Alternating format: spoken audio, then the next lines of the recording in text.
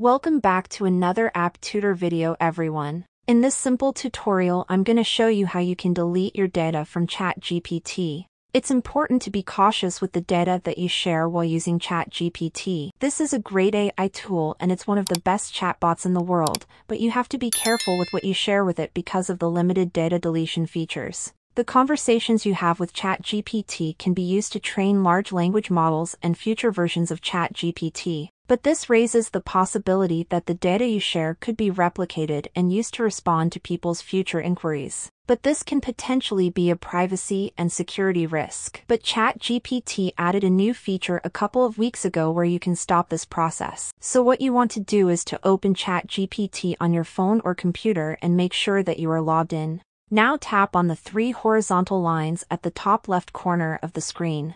Then click on the three dots next to your email address. And then Settings. Select the data controls right here. And you can see an option called Chat History and Training. You want to toggle this off and now ChatGPT won't collect the personal data that you input about yourself or any other stuff. The future data that you input won't be used to train or improve newer versions of the chatbot. So that's it for this simple tutorial everyone. Thank you so much for watching and see you soon.